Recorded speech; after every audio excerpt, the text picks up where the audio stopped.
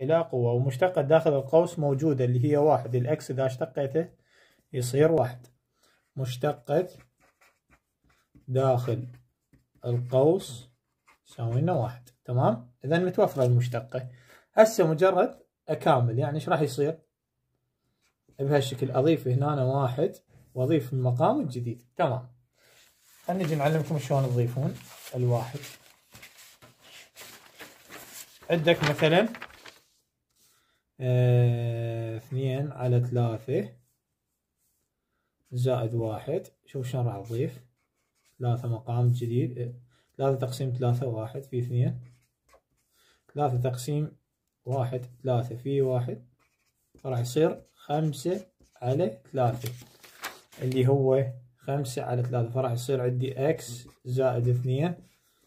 أس خمسة على ثلاثة على خمسة. على ثلاثة زائدا سي لأن تكامل غير محدد. هذا هو تكامله بعد عملية القسمة تقلب إلى ضرب فراح أقلب الكسر يصير ثلاثة على خمسة نا x زائد اثنين أس خمسة على ثلاثة. بعدها أرجع هذا جذر ثلاثة على خمسة. هنا أقدر أرجع جذر الأس على دليل الجذر يعني الجذر التكعيبي هذا دليل الجذر هنا وهاي راح تنزل إكس زائد اثنين الأس مالها خمسة.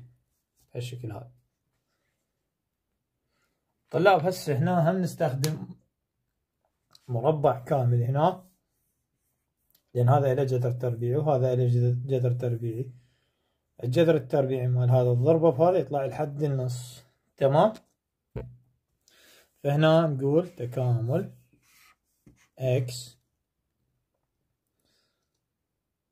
جذر التكعيبي ينزل. ماكو هنا نقول قوس.